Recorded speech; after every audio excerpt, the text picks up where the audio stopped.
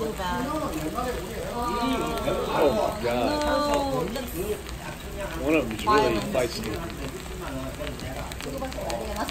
Is he alive? Are they alive? Just Just, uh, I think it's like when you cut a snake's head off. Oh, okay. reaction. Okay, so that's just uh, the They're nerves. technically dead, but Brain dead.